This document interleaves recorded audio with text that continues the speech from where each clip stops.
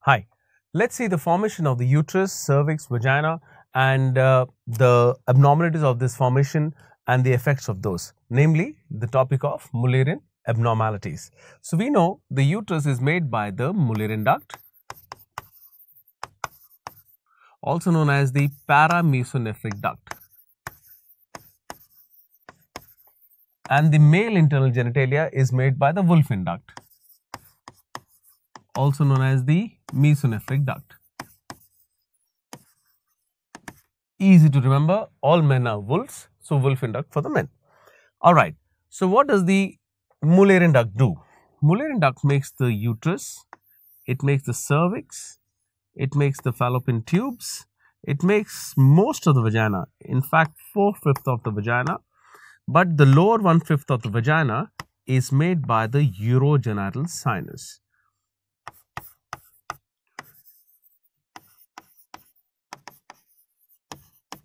and the ovaries are also not made by the Mullerian duct. The ovaries are made by the genital ridge. So, this is the formation of the female internal genitalia. Now, the male internal genitalia, namely the formation of the epididymis, the vas deferens, the, um, the seminiferous uh, tubules, the prostatic part of the urethra, all of this male part of the internal genitalia is made by the Wolffian duct or the mesonephric duct. Now, let us see what happens, how does this Mullerian duct start forming these. So, if we see there are two Mullerian ducts which are coming in fusing, two Mullerian ducts like this and two Wolffian ducts in all of us. So, two Mullerian and two Wolffian. Now, these Mullerian would come and fuse and the Wolffian would start to obliterate in a woman and then this would start to take some shape of the early uterus like this and some outpouchings would start to form and ultimately the full uterus formation takes place with the upper part of the contribution of the vagina by the Mullerian duct and the fallopian tubes and then the urogenital sinus comes and fuses with this and makes the complete formation. Now what happens to the Wolffian duct in the woman? The Wolffian duct would obliterate like we discussed, but the line of obliteration is something like this. Now, when this Wolffian duct is obliterating, it may leave some remnants above the ovary and besides the ovary. So, if this is the ovary, there are some remnants above the ovary. These remnants are known as the epoophoron. and there are some remnants besides the ovary. These are known as the paraoophoron. So, epoophoron and the paraoophoron. Now, this Mullerian duct has made the uterus, tube, cervix and the most of the vagina, but the Wolffian duct has obliterated in the upper lateral vaginal wall. You must note that the Wolffian duct is obliterated in the upper lateral vaginal wall.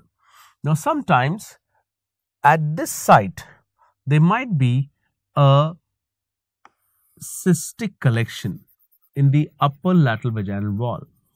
This is an inclusion cyst which is at the site where the male duct obliterates in the upper lateral vaginal wall and that cyst is known as the Gartner's duct cyst. It's known as the Gartner's cyst. So, what is a Gartner's cyst? It is the obliterated male duct in the female genitalia leaving a remnant. In other words, is the lower end of the obliterated male duct, the Wolffian duct, which at the upper lateral vaginal wall gives a cystic collection. This male duct is known as a Wolffian duct. It is also known as the mesonephric duct. In fact, it is also known as the Gartner's duct, but we never tell you that. So, it becomes very simple. What is a Gartner cyst? It is a remnant of the Gartner's duct, which is also known as the mesonephric duct or also known as the Wolffian duct. So, these things become a very uh, confusing nomenclature, but if you know that these are all synonyms, then life becomes much easier. So, Wolffian duct or known as the mesonephric duct or known as the Gartner's duct is all the same and the remnant of the Gartner's duct gives a Gartner cyst. Now, what is this Gartner cyst? It's an asymptomatic cyst. It is present ever since the girl is born, but mostly it is asymptomatic. But what is the treatment of this Gartner cyst? Now, the treatment of the Gartner cyst is only when the patient is a little older and probably she's come to you for an examination for some uh, some other non-related thing like a vaginitis or she's come to with some pain abdomen and it's a female you end up doing a vaginal examination and there by chance you see a Gartner cyst. Mostly it is asymptomatic but it may become very large in volume and cause some heaviness sometimes. So the Gartner cyst treatment is a simple excision. Mind you I did not say marsupialization. I did not say that. I said simple excision. See, this is a Gartner cyst. It is in the vagina. All right. Upper lateral vaginal wall. Now, the treatment of this is a simple excision as compared to something called the Bartholin's abscess. Now, the Bartholin's gland is present in the junction of the anterior two-third and the posterior one third of the vulva. At this junction, it is present. At the vulva, it is not inside the vagina. So that's where the confusion comes. Most of the times, you end up saying marsupialization for a Gartner's duct cyst. Gartner's duct cyst is a simple excision, and the Bartholin gland, which is present here at the opening of the vagina. This Bartholin gland, you know, is a accessory sexual organ. It helps in lubrication during the sexual intercourse and uh, women who are active generally end up with a blocked uh, Bartholin duct and this collection of the Bartholin duct can get infected and make a Bartholin's abscess. So, when there is a Bartholin's abscess, now what is the treatment of a Bartholin's abscess? Now, this treatment is the marsupialization. Yes. Now that's different from the simple excision. What's a marsupialization? That when you make an incision on the abscess, we just evert the edges. See, suppose I'm trying to show you an abscess with my cupped hand and when I make an incision on this, when I make an incision on this and the pus would come out, after the pus comes out, you never close an abscess because it will make an abscess again. So, make an incision, let the pus come out and then you evert the edges.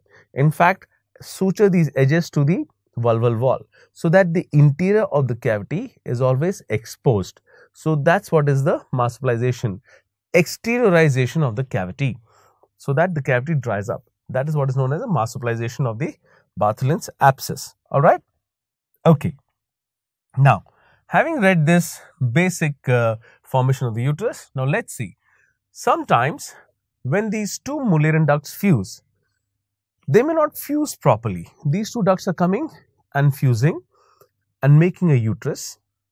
But if they do not fuse properly, they make two incomplete uterus or one part makes a uterus, other part makes a nothing, unicornate uterus or the upper part of the uterus fuses well but the outpouchings which come out and make the upper vagina have to fuse with the lower urogenital sinus to make a proper vagina.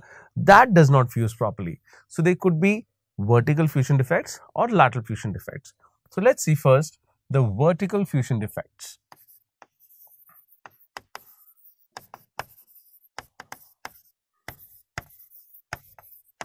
So, the upper part of the body uterus cervix, upper vagina, fallopian tubes is made well. In fact, the lower one fifth of the vagina is also made well, but they have not fused properly. So, now this is what is known as a transverse vaginal septum.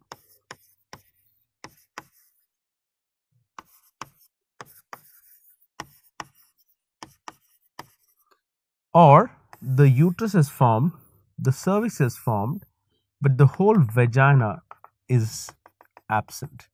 Only the lower one fifth of the vagina is made by the urogenital sinus. Now, this is not a proper vagina, it's just a shallow dimple in the perineum. And this is known as a vaginal atresia. Or the uterus is formed, but the cervix is not formed properly at all. So, yes, just the uterus is formed cervix is obliterated upper vagina is obliterated and only the lower vagina is made. So, now this is what is a cervico-vaginal atresia. And the worst form is that the whole uterus is obliterated, the cervix and the vagina is all obliterated, only the shallow blind vagina is made. This is what is known as the complete Mullerian agenesis.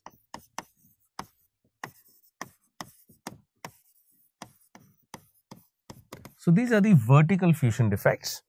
Let us see what are the lateral fusion defects that the two ducts have come and not fused properly.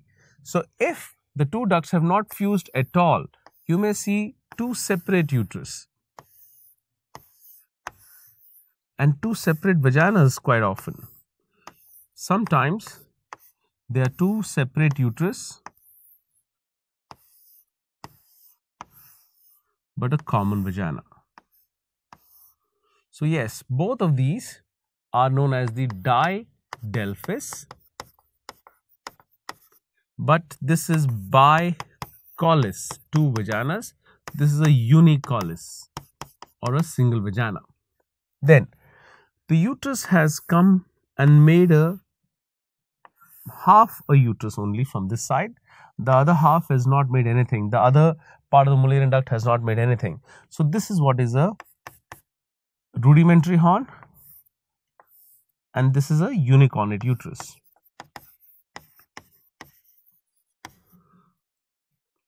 Or the uterus have fused, but the intrauterine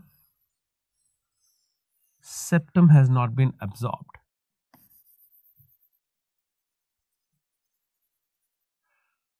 or the uterus has not fused properly at all.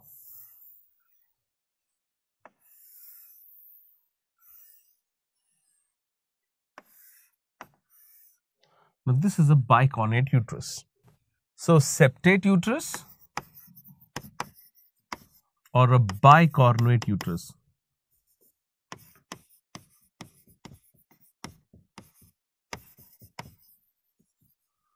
Now, the septate and the bicornate uterus are a, a topic of intense, intense uh, discussion between the gynecologist and the radiologist. Uh, you know, there are so many times uh, when you see hysterosalpingographs of a septate uterus and you may end up thinking that it's a bicornate uterus. So, let's see, uh, suppose I am discussing just the septate and the bicornate for the time being and suppose I do a hysterosalpingography. Uh, hysterosalpingography is a process by which you put in a dye into the uterus and this dye has gone, a radiopaque dye has gone and occupied this uterus here like this and occupied this uterus like this.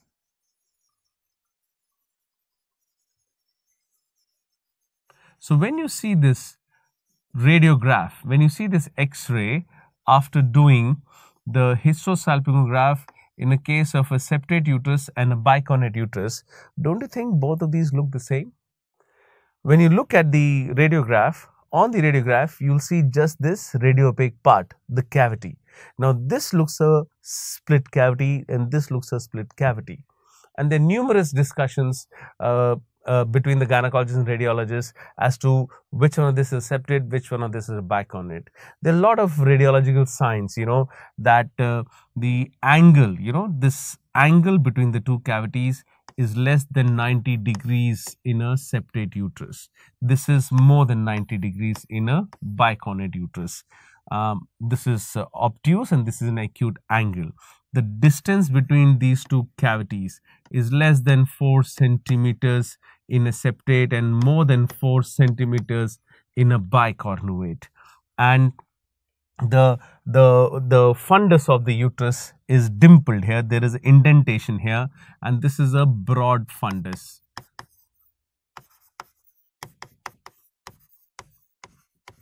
And there is a dimpling here. So, these are the, there are many more, you know, there are many more differences they would like to tell you, the radiologist. But let me tell you very frankly, every time a radiologist friend sends me a report of a bicornate uterus, it turns out to be a septate uterus. Yes, uh, you know, till uh, 2000, uh, 2010. After that, I've stopped counting the number of separate uterus I've operated. You know, I've been operating uh, on uh, uterine defects ever since 2002. Until uh, 2010, I had done something like 300 septums. Now, for the last 8 9 years, I have not counted the septums because it's such a common surgery for me. Now, let me tell you that I have yet to do my first bicornuate unification. Yes, I have seen a lot of bicornuate uteruses only at the time of uh, doing a cesarean section because there might be a transverse lie or a breech and a uterus is known to predispose to these malpresentations and malpositions. We know that. But they are far too few. Yes, they are much lesser as compared to a septum. I have no hesitancy in saying this very, very frankly that the septate uterus is the single most common Mullerian defect. Please write it down and do not discuss any further with any guidebook or don't go and discuss with any different forum. Please don't waste your time. Septate uterus is far more common than the bicornuate uterus. And the only way to know the difference and the best way to know the difference between the two of these is by a diagnostic laparoscopy plus a hysteroscopy in the same sitting, in the same general anesthesia, I would do a laparoscopy and a hysteroscopy. That's the only way to distinguish among between these. But if they don't give the choice of a surgery, an MRI, MRI is fairly good. MRI is sometimes just as good, just, but, but because if you want to do a correction also at the same sitting, that's why they say laparoscopy, hysteroscopy is the best. But in imaging, MRI, imaging wise, if you say, they might ask you a very smart question sometimes. Which of the following imaging techniques will distinguish the septate and the bicornuate best? Then you have to say MRI. Otherwise, the overall best way to distinguish is the laparoscopy and a hysteroscopy in the same sitting. All right. So, what do you do for a septate uterus? For a septate uterus, you get into the get into the uterus uh, with a hysteroscope and with a hysteroscopic instrument, you go and you remove the septum with a hysteroscopic cautery and the cavity becomes normal. But here in the bicornuate uterus, you have to do a unification surgery. It's far more complicated than just going inside and chopping off in a septum. So yes, in this, you will have to make an incision here, cut this much of the part of the both cavities and these remaining two have to be brought together to make a good unified uterus. Now, what is the only indication? What is the only indication of unifying the uterus? That is a recurrent abortion. A recurrent pregnancy loss is the single most important indication of unifying the uterus in a case of bicornuate uterus. So yes, a bicornuate uterus is not as common as a septate, but then yes, we have to do this unification surgery and I just now told you how we have done it. So yes, there are a lot of surgeries, unification surgeries goes by the name of Strassman's, Strassman's metroplasty or uh, Jones metroplasty. Of course, they are not in the gamut of uh, your uh, uh MCQ exams, but then they have asked you this question, what is the only indication of doing this unification procedure? All right. Now, having discussed this vertical fusion defects and these lateral fusion defects. Now, having discussed this lateral fusion defects and earlier the vertical fusion defects. Let's see what can be another form of a defect which is closely discussed with these. Yes, there's another form of defect which is not actually a Mullerian defect. Yes, I'll draw it here and show you. Sometimes the uterus is formed properly, the cervix is formed properly, upper vagina and the lower vagina is formed properly, the fallopian tubes are formed properly, everything is good, but the hymen is not cannulated. Now that is a imperforate hymen. That's an imperforate hymen. I'm drawing this separately from the vertical defects and the lateral fusion defects of the Mullerian duct because this is not a Mullerian anomaly. This is not a Mullerian anomaly. This is a cannulation defect, imperforate hymen. Now, let's go back to our discussion of the vertical fusion defects and I'll just draw the imperforate hymen here for you. I'll just take this off. I have already warned you that this is not a Mullerian defect. I'm just drawing it here for one purpose. I'll just tell you now. Sometimes what happens, these defects, how do they present to you? That this girl, suppose she becomes 15, 16 years of age, what will be her presentation? That she will be menstruating inside the uterus. Some blood will also be coming to the vagina, but will not be coming out. Similarly, the same presentation might happen in a vaginal atresia and it may also happen in a cervico-vaginal atresia and may also happen in a imperforate hymen. What are these conditions? Conditions where a woman is actually menstruating but the menstrual blood is not coming out. So, these conditions where there is a blood in the uterus, hematometra, hematometra, blood in the vagina. Hematocolpos. So, the conditions where there is menstrual blood formed, but it is not coming out, it is presenting as a hematometra and a hematocolpos. These conditions are known as the conditions of cryptomenorrhea. Yes.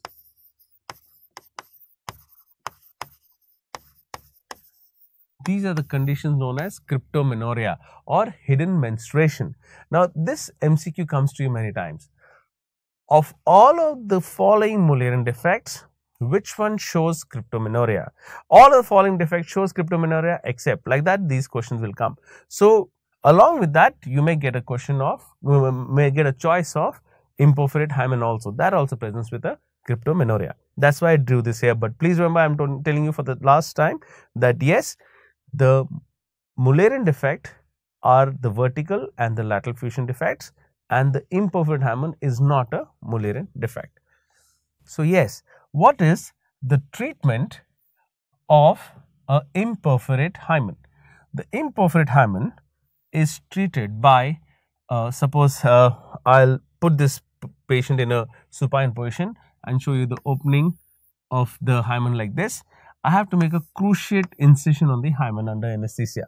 So, when I make this incision, the pent up menstrual blood will come out, but this incision can close very fast. So, that is why we have to cut along the edges of the incision which I have given. So, now the hymenal opening would look something like this.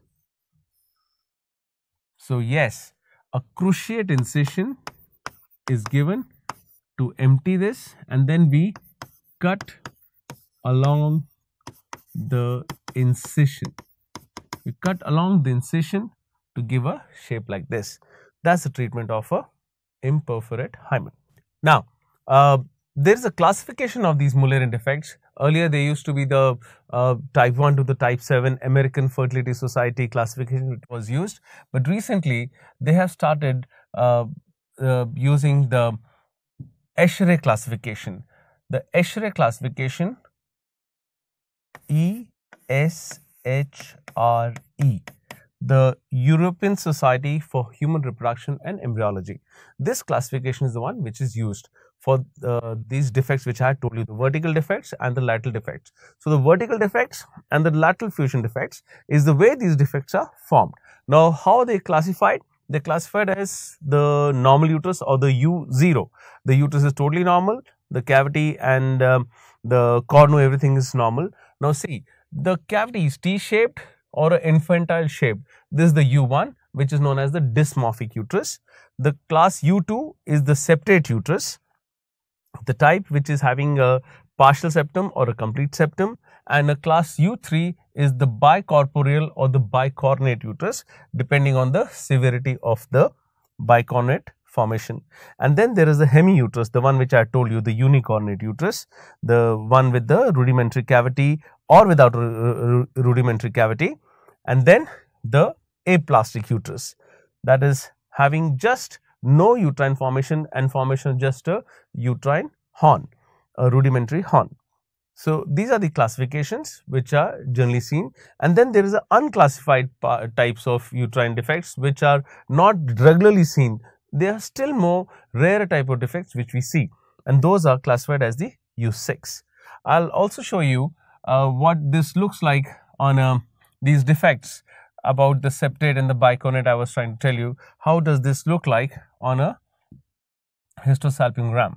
So, this is what I was trying to tell you. This is one of my own cases which had come to the outpatient department and uh, this was diagnosed as a bicornate uterus by the radiologist.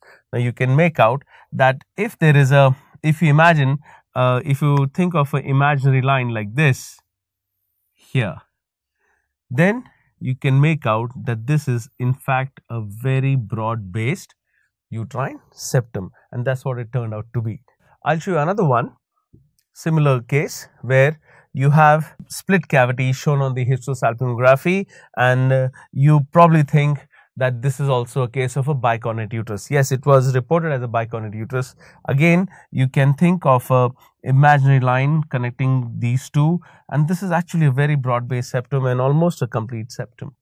Alright. So, yes, whenever you feel that this is actually a case of bicornate uterus, and you have confusion between bicornate and a septate, be ready. Be ready that while you're doing the surgery, you may encounter a bicornate uterus which will require much more uh, bigger surgery of unification of the uterus. Be ready for that. Be mentally ready and physically ready in the OT with the instruments for doing a unification procedure. But most of the times you will see a septate uterus and the surgery of that is mostly getting into the uterus with a hysteroscope and doing a resection of this septum which is coming in between. All right. Thank you. Thank you.